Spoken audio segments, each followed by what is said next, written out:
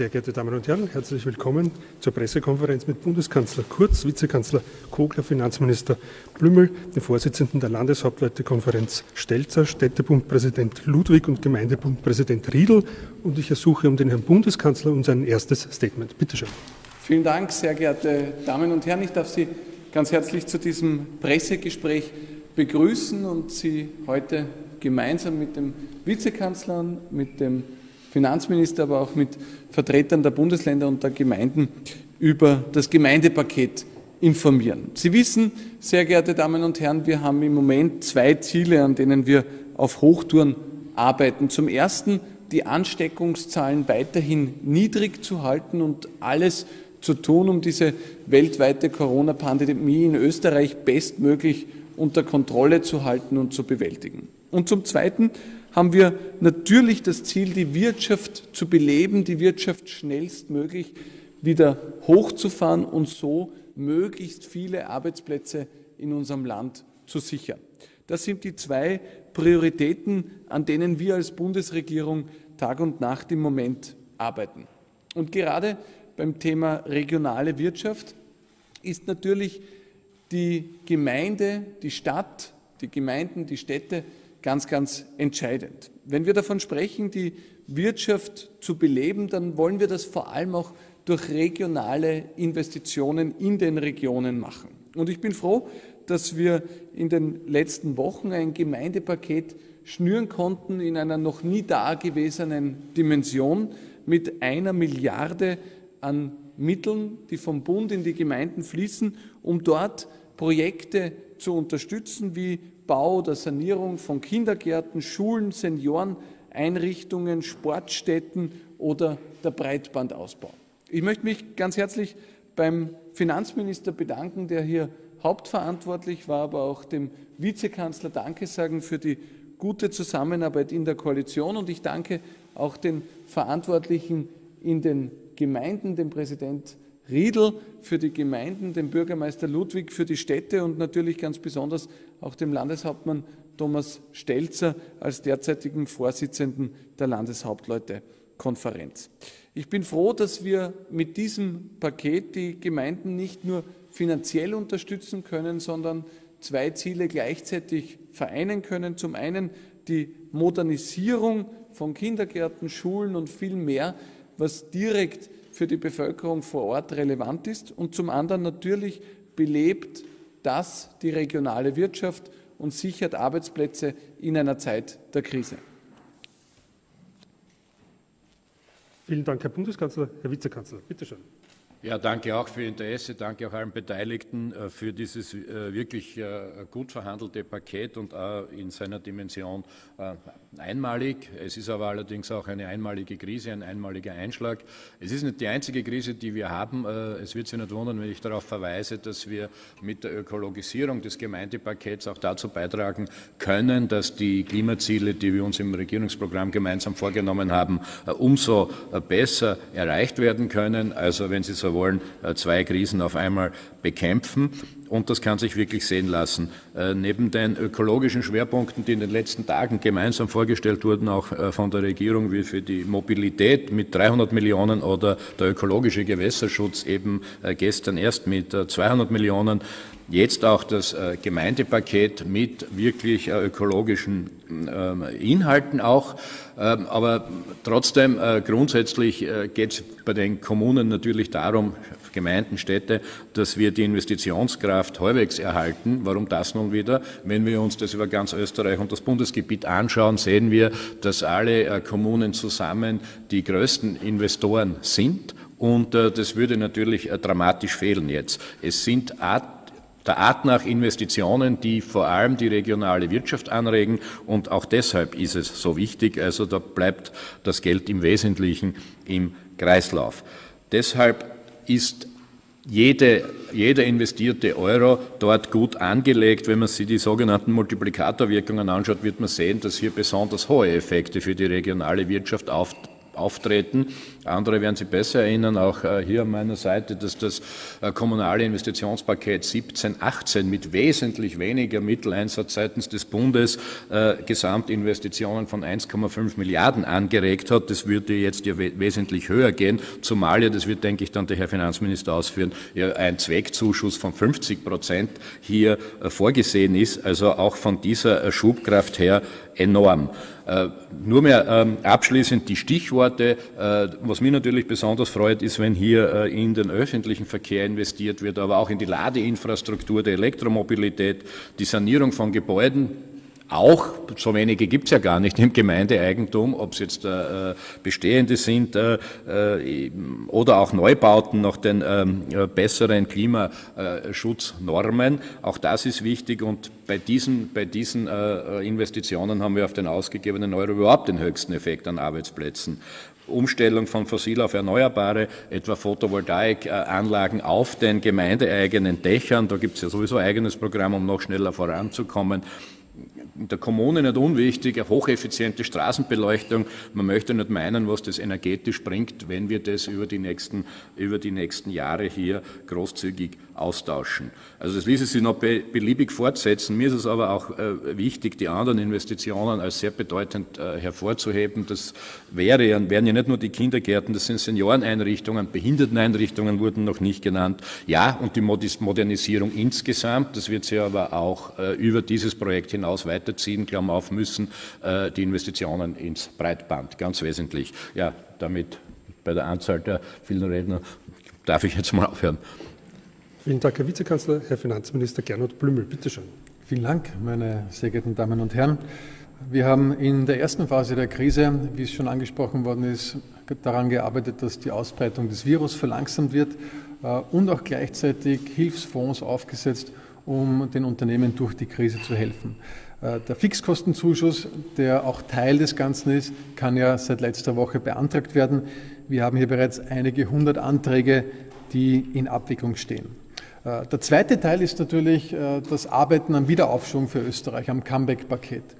Und hier haben wir bereits einige Pakete vorgestellt, zum Beispiel das Wirtshauspaket im Volumen von bis zu 500 Millionen Euro sowie auch das Investitionspaket in den öffentlichen Verkehr von bis zu 300 Millionen Euro.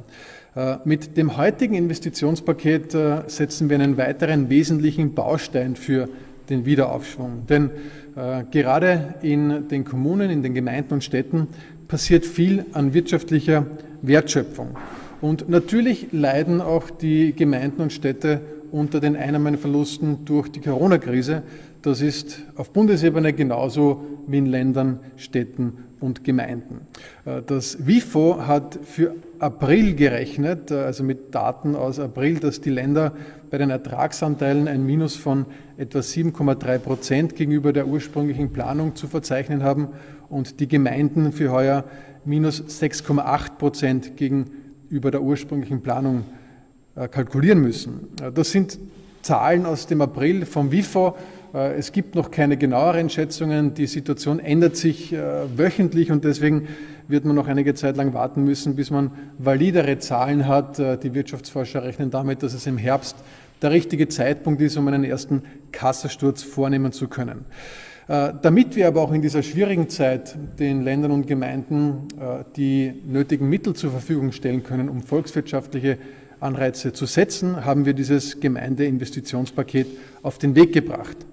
Wie sieht es aus? Es hat das Volumen von einer Milliarde Euro und äh, wir unterstützen damit einerseits bestehende Investitionen, aber auch zukünftige.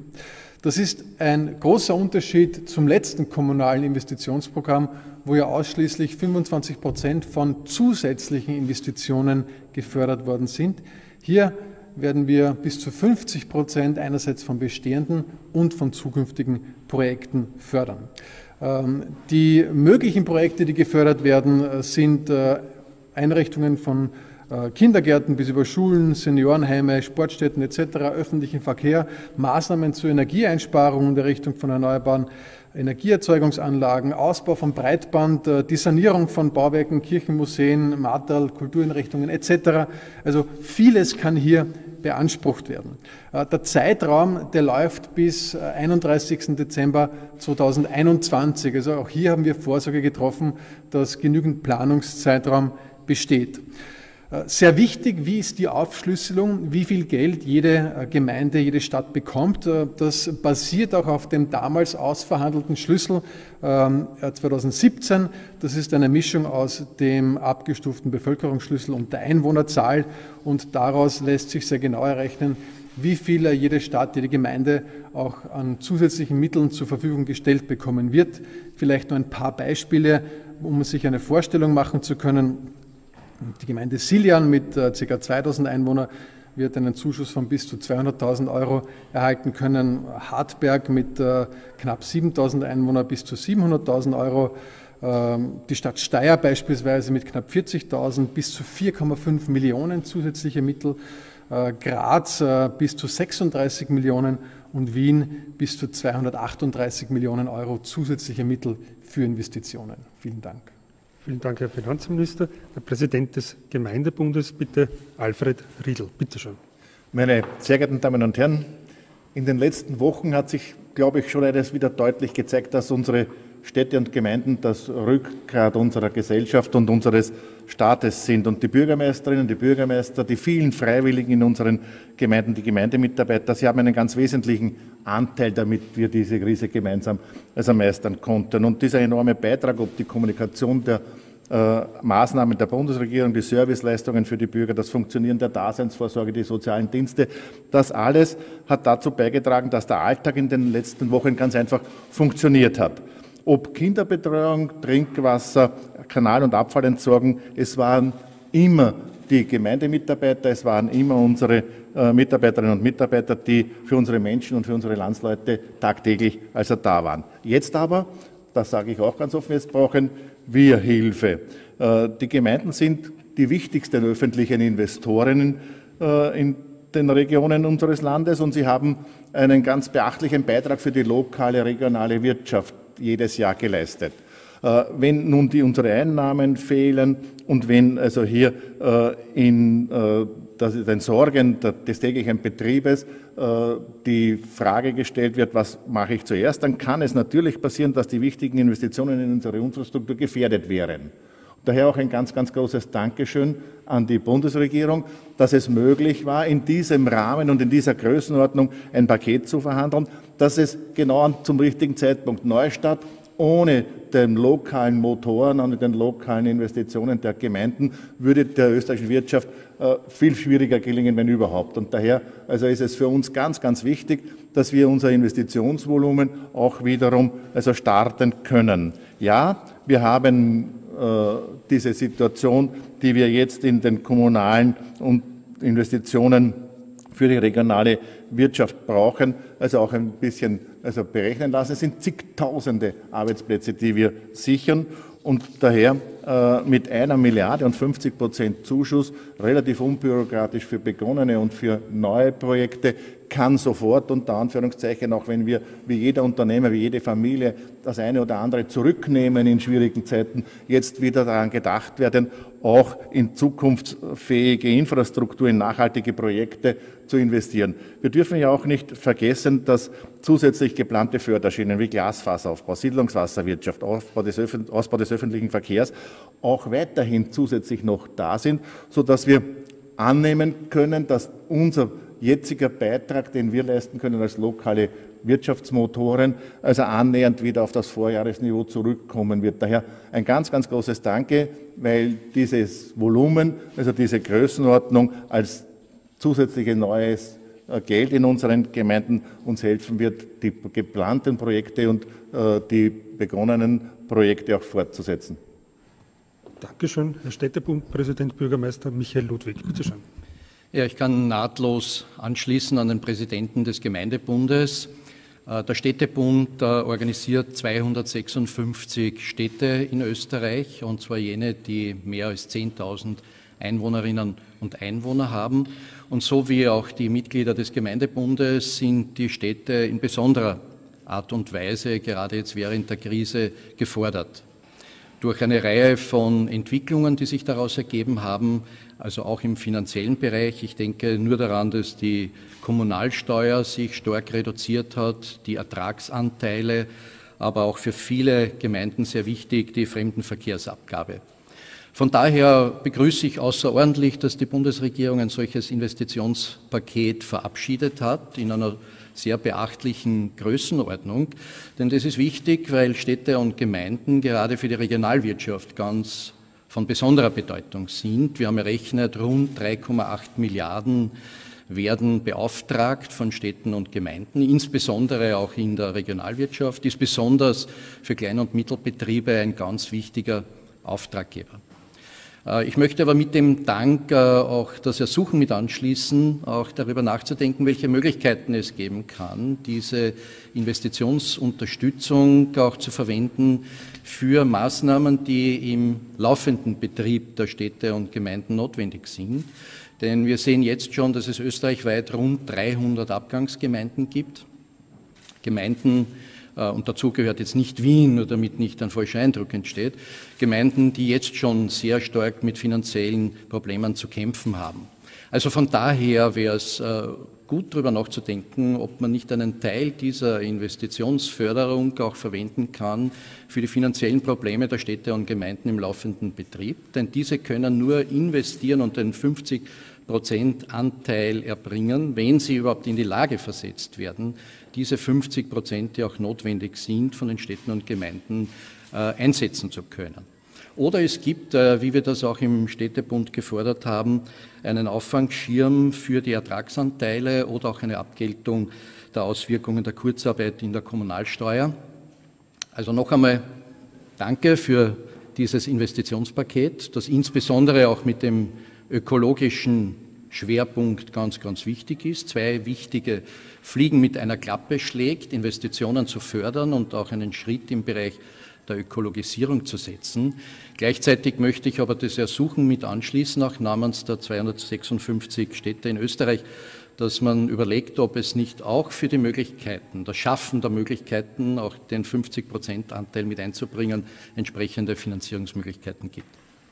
Vielen Dank. Der Vorsitzende der Landeshauptleutekonferenz, Landeshauptmann Thomas Stelzer. Bitte schön. Sehr geehrte Damen und Herren, von den staatlich vorgesehenen Strukturen oder Stellen sind es mit Sicherheit die Gemeinden und die Städte, die am unmittelbarsten das Gemeinschaftsleben organisieren und gestalten.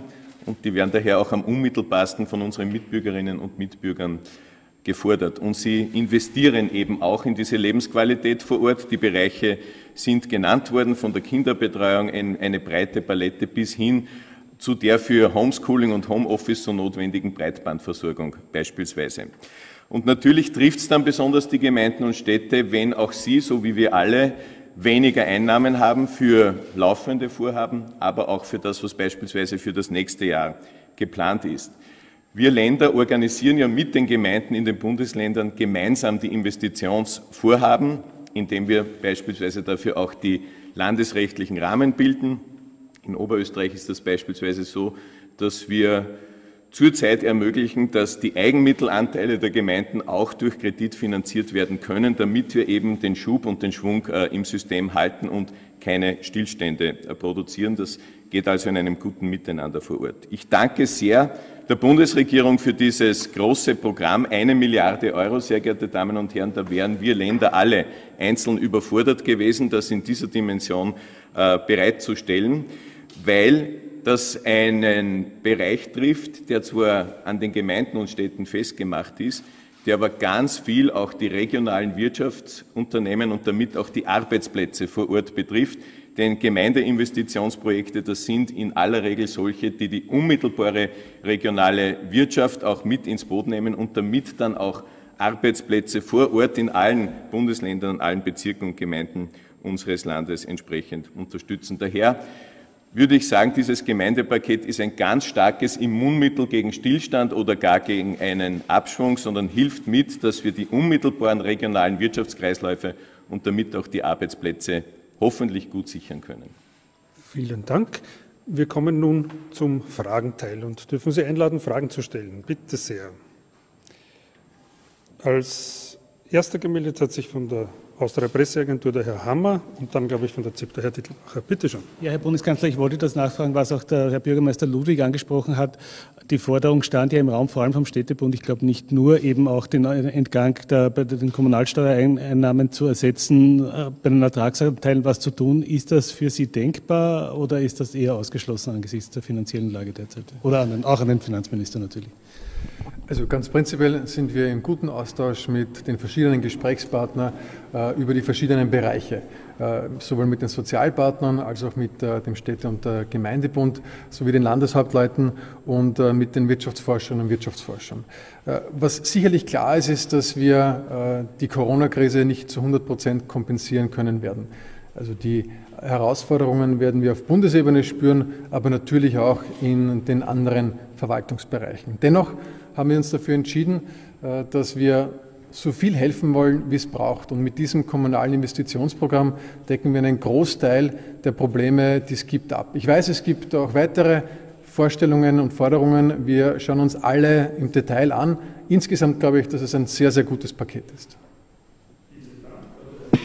Vom ORF Zeit im Bild und dann Puls 4. Äh, Herr Bundeskanzler, ich möchte die Chance ergreifen, nachdem Sie hier mit äh, Vertretern auch der Regionen sozusagen äh, beisammenstehen hier. Sie haben am Wochenende eine Idee in einem Interview ventiliert, dass man die äh, Lockerungen, die es in Österreich ergeben wird, hoffentlich in nächster Zeit, dass man die regional unterschiedlich machen kann, je nachdem, wie sehr einzelne Regionen betroffen noch sind von der, vom Coronavirus oder nicht. Da würde mich interessieren, was Sie da genau äh, für Vorstellungen haben und mich würde natürlich auch interessieren, was der Herr Bürgermeister Ludwig als Bürgermeister von Wien oder der Herr Landeshauptmann Stelzer dazu sagen, der Vizekanzler vielleicht. Und für den Vizekanzler habe ich nur eine Frage in dem Rucksack mitbekommen, und zwar von unserer Sportredaktion. Was ist denn mit Spielberg und mit Formel 1? Auch da geht es ja um eine regionale Wirtschaftsmöglichkeit, die vielleicht kommt oder nicht. Danke. Also ich muss Sie vielleicht ein Stück weit äh, korrigieren, weil es ein bisschen anders war. Der Landeshauptmann Kaiser hat die Idee ventiliert, ähm, beziehungsweise mehrfach gefordert, dass es ein regional ähm, unterschiedliches Vorgehen braucht, weil die Situation in den Regionen auch unterschiedlich ist. Wenn wir nach Kärnten zum Beispiel blicken, äh, da haben wir über die letzten Wochen äh, so, so, gut wie täglich null Neuinfizierte und ich glaube, wenn ich richtig informiert bin, gibt es überhaupt nur noch zwei Corona-kranke Personen in Kärnten im Moment und daher hat der Landeshauptmann Kaiser eingefordert, mehrfach in Sitzungen, als wir mit den Landeshauptleuten in Kontakt waren, aber auch öffentlich, dass es hier sinnvoll wäre, wenn gewisse Regionen, die ganz besonders äh, gut unterwegs sind, äh, beziehungsweise wo es vielleicht überhaupt keine Corona-Fälle mehr gibt, ähm, eben auch schneller mit den Lockerungen voranschreiten äh, können. Wir haben das als Bundesregierung, äh, der Vizekanzler äh, und ich, ähm, äh, zur Kenntnis genommen. Wir respektieren das und haben heute mit den Landeshauptleuten in einer Videokonferenz noch einmal dazu gesprochen. Ähm, der Kärntner Landeshauptmann hat das gefordert. Der Bürgermeister Ludwig hat sich ähm, da eher skeptisch geäußert, ohne jetzt zu viel aus der Sitzung äh, zu verraten. Und wir haben vereinbart, ähm, dass der Landeshauptmann Kaiser hier einerseits Vorschläge machen wird und zum anderen wir als Bundesregierung auch mit Thomas Stelzer, dem Vorsitzenden der Landeshauptleutekonferenz, hier stellvertretend für alle Bundesländer dann in einen Dialog eintreten wollen. Grundsätzlich ähm, kann ich der Idee von Landeshauptmann Kaiser was abgewinnen. Ich habe Verständnis dafür, dass wenn es in einer Region überhaupt keine Corona-Fälle mehr gibt, dass die Menschen dort sagen, naja, was soll das mit den Masken oder warum gilt für uns das Gleiche wie anderswo? Ähm, das ist eine Debatte, die wir führen werden müssen. Was mir ganz besonders wichtig ist, ist, dass wir generell bei den Regeln eine Vereinfachung zustande bringen. Ähm, es braucht mehr Eigenverantwortung, es braucht mehr Hausverstand, das äh, sind, glaube ich, die wichtigen Überschriften für die Phase, in die wir uns jetzt bewegen. Die Phase des allgemeinen Lockdowns ist vorbei. Äh, die Phase der detaillierten Vorgaben, ähm, die wird die Menschen irgendwann überfordern. Und insofern braucht es natürlich mehr Eigenverantwortung, mehr Hausverstand, ähm, möglichst einfache Regeln, die sich die Menschen, die sich daran halten wollen, auch merken können. Und ja, je unterschiedlicher die Situation wird, ähm, desto mehr macht natürlich auch der Vorschlag von Landeshauptmann äh, Kaiser Sinn.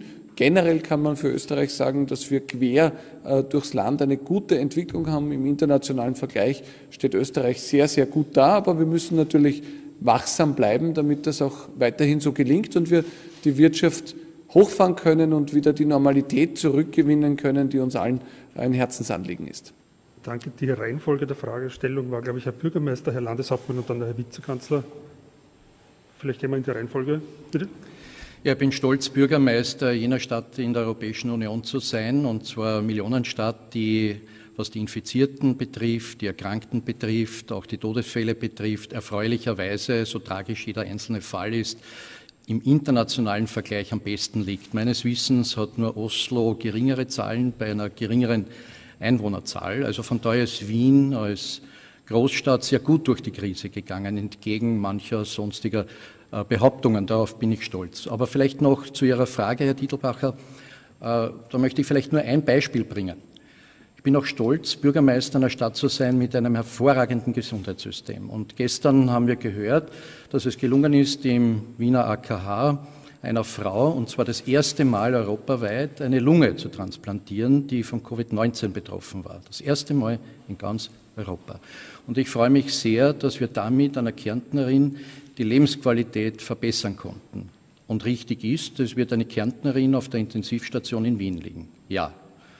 Und äh, ich suche vor allem die gute Zusammenarbeit mit allen Bundesländern. Ich denke, Österreich ist äh, zu klein im Unterschied zu manchen deutschen Bundesländern, um hier besondere Trennungsmaßnahmen vorzunehmen. Dazu sind manche Wege zu intensiv, wenn ich nur auch an die äh, verschiedenen Beschäftigten denke, die über Bundesländergrenzen hinweg tätig sind. Also von daher müsste es ein gutes Konzept geben, das ich bis heute nicht kenne, aber wir sind allen Vorschlägen immer sehr offen, aber es muss Sinn machen und es sollte auch medizinisch, wissenschaftlich basiert erklärbar sein. Das habe ich vielleicht vorher vergessen. Der Landeshauptmann Kaiser hat sich bereit erklärt, auch hier Vorschläge zu machen. Ich glaube, bei der erfreulichen Entwicklung, die Gott sei Dank äh, mittlerweile unsere Gesundheitssituation wieder bittet, gegen all der Befürchtungen, die wir zu Beginn hatten, kann man mittlerweile schon darüber beraten, welche regionalen spezifischen Maßnahmen könnten den Sinn machen. Wichtig sind mir nur ein paar Punkte. Erstens, es muss Übersichtlichkeit für die Bevölkerung geben. Was gilt jetzt wo und woran hat man sich zu halten? Das darf nicht zu kompliziert werden.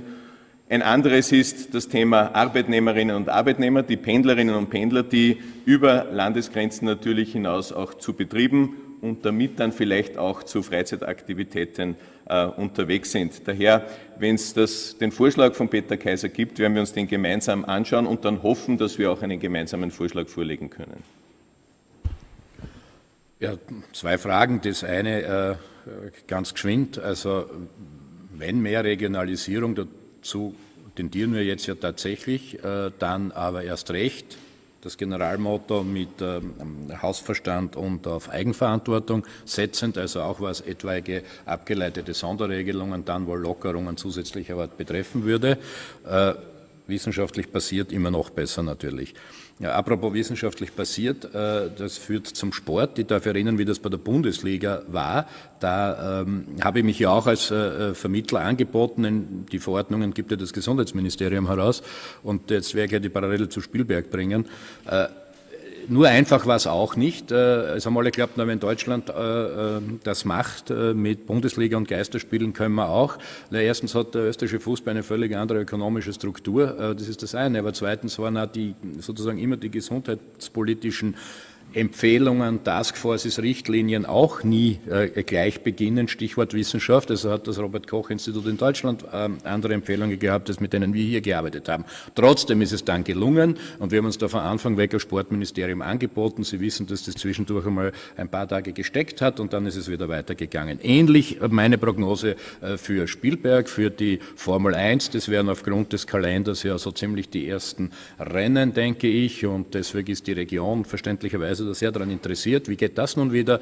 Äh, ich glaube, von den gesundheitspolitischen Vorgaben, was den eigentlichen Sport betrifft, das hatte ich, glaube an der Stelle vor Wochen aber schon kundgetan, wird es kein größeres Problem geben, wenn man Art und Weise dieser Sportart betrachtet, äh, was Abstände betrifft oder ähm, allenfalls muss man in den Boxen Vorkehrungen treffen oder auch die Ausrüstung der Menschen, die dort äh, ihren Sport ausüben. Ähm, in Wahrheit ist es von wesentlich größerem Belang wie andere Vorschriften zum Greifen kommen, mit dem das Sportministerium schon einmal gar nichts mehr zu tun hat. Das sind Ein- und Ausreisebestimmungen, weil das, da geht es doch um eine größere Anzahl von Menschen. Das sind die Bestimmungen zur Beherbergung und Hotellerie, weil die müssen auch dort schlafen, ja, und zur Gastronomie. Die gibt es aber alle. Ja, und wenn das alles eingehalten wird, dann würde dem nichts im Wege stehen. Ich sage ja, wir sind hier äh, Möglicher und keine Verhinderer.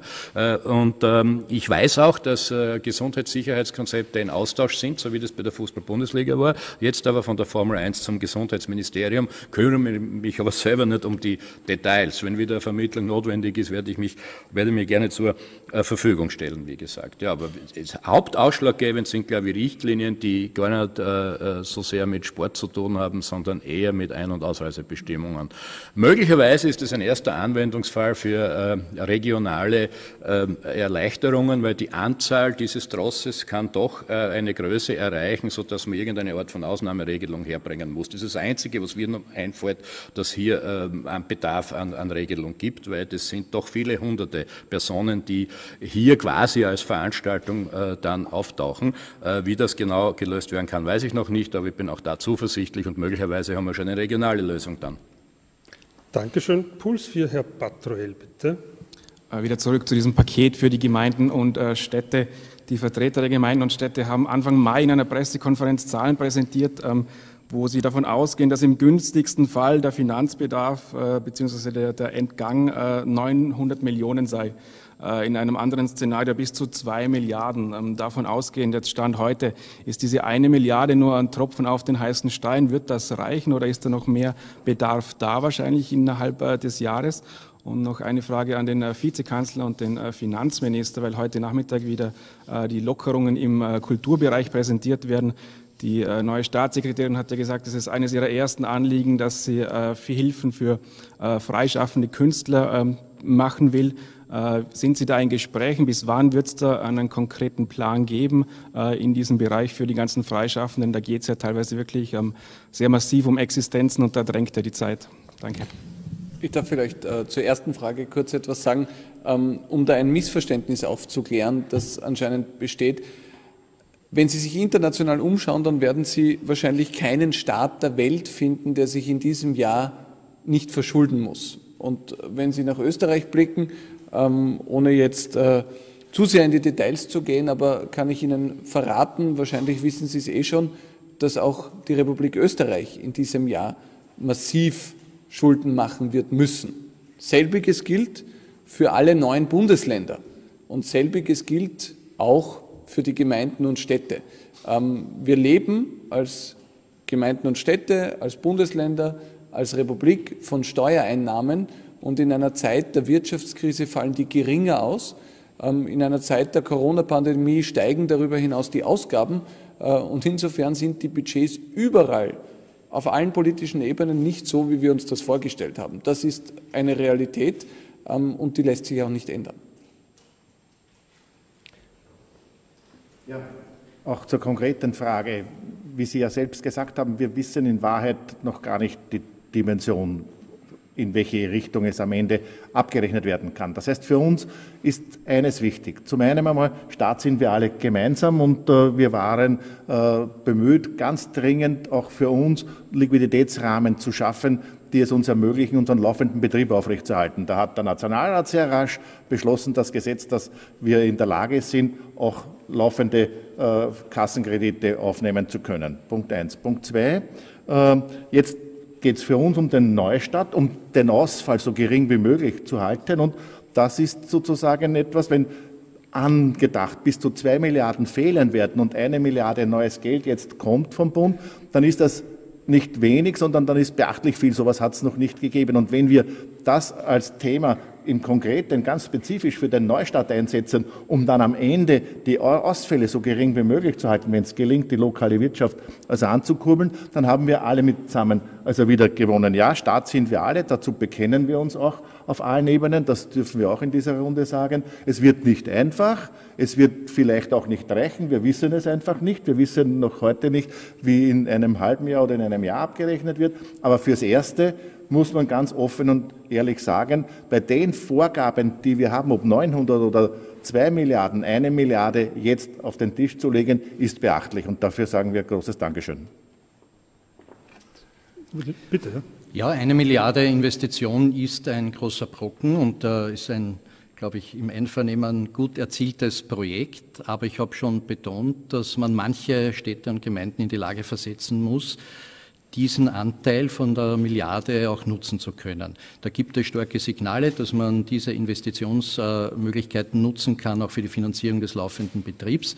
Aber man muss darauf hinweisen, dass das eine Grundvoraussetzung ist, für manche Gemeinden in die Regionalwirtschaft Impulse setzen zu können. Also von daher, ja, sehr gutes Paket, allerdings ein bisschen mit dem Nachsatz, es muss darauf geachtet werden, dass alle Gemeinden in die Lage kommen, insbesondere deshalb, weil sie ein ganz wichtiger Impulsgeber für die Regionalwirtschaft sind und österreichweit 3,8 Milliarden in die Wirtschaft pumpen. Von daher ist das sicher ein großer Vorteil, wenn es weitere Investitionsmöglichkeiten gibt.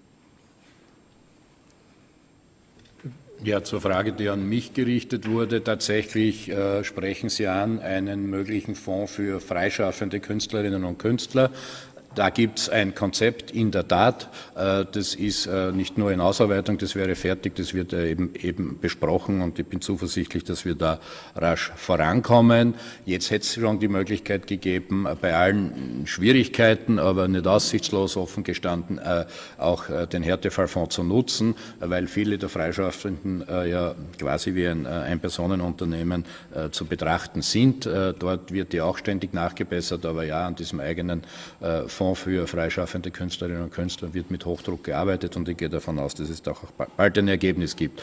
Zwei Sätze zu dem äh, hier äh, ständig äh, debattierten.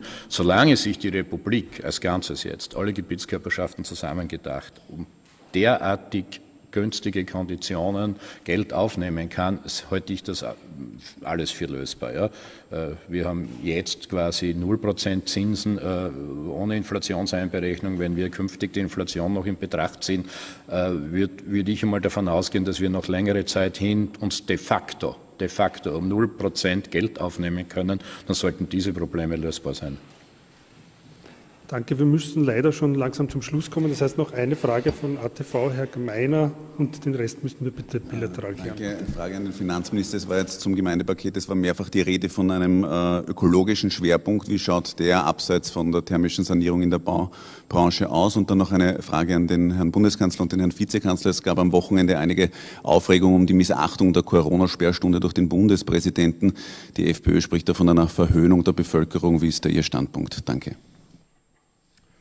Ähm, zu der an mich gerichteten Frage gibt viele Elemente. Wir haben definiert, dass in den verschiedensten Bereichen dieser Zuschuss für Investitionen auch herangezogen werden kann. Äh, so unter anderem auch äh, in den öffentlichen Verkehr, was ja ein wesentlicher Teil von dem von Ihnen angesprochenen äh, Politikbereich darstellt, ähm, sowohl als auch in die Instandhaltung und Sanierung von thermisch-energetischen Bereichen, die Errichtung von erneuerbaren Energieerzeugungsanlagen, Photovoltaik etc und bessere Umsetzung der Kreislaufwirtschaft. Also hier gibt es verschiedenste Aspekte, die in den von Ihnen genannten Bereich zum Tragen kommen. Herr Bundeskanzler und Herr Vizekanzler, Sie die Frage. Ja, ich habe äh, den Medien heute entnommen, dass der Herr Bundespräsident den Vorfall nicht nur bedauert, sondern es ihm aufrichtig leid tut und offensichtlich hier ein Fehler vorgelegen hat. Äh, ich finde nur den Hinweis auf die sogenannte Freiheitliche Partei äh, äh, sehr animierend. Äh, nur in meinem Bundesland allein, also in der Steiermark, äh, hat es äh, mehrere Vorfälle gegeben, etwa, dass blaue Landtagsabgeordnete Corona-Partys nicht nur angestiftet haben, sondern auch lustig teilgenommen haben und die dort vertretenen Personen dann auch noch ausdrücklich für den Gemeinderat kandidieren. Also ich glaube, man müsste, man müsste sich hier nicht auf die Zurufe der FPÖ verlassen, um irgendwas Vernünftiges zu sagen. Ja, viel ist nicht äh, hinzuzufügen. Ich glaube, ähm, es geht allen Menschen in unserem Land gleich, ganz gleich, ob Bundespräsident oder nicht Bundespräsident, äh, ganz gleich in welchem Bundesland, in welcher Himmelsrichtung. Wir alle freuen uns, wenn mehr und mehr die Regelungen wieder gelockert werden können und wir mehr und mehr wieder zur Normalität zurückkehren können. Das muss unser gemeinsames Ziel sein.